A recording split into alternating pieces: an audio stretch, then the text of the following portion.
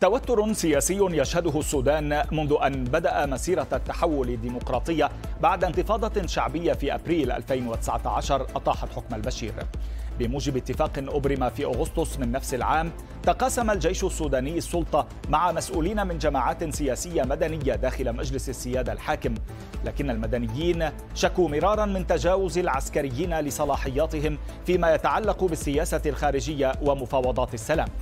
في المقابل اتهم العسكريون الأحزاب المدنية بسوء الإدارة واحتكار السلطة فيما انحاز ائتلاف من جماعات معارضة وأحزاب سياسية إلى القوات المسلحة وسعوا لحل مجلس الوزراء المدني.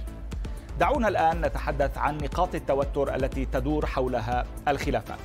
يقف على رأسها السعي لتحقيق العدالة بشأن مزاعم ارتكاب الجيش وحلفائه جرائم حرب في الصراع في دارفور منذ عام 2003 إضافة إلى التحقيق في قتل متظاهرين مطالبين بالديمقراطية في يونيو 2019 في واقعة وجهت فيها أصابع الاتهام لقوات عسكرية.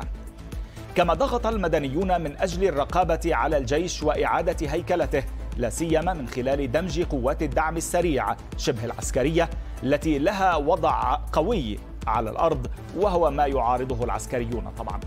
كما أثرت الأزمة الاقتصادية المتفاقمة في تصاعد الخلافات الداخلية لا سيما بعد تسببها بانخفاض قيمة العملة وفي النقص المتكرر للخبز والوقود وهي الشرارة التي أدت لسقوط البشير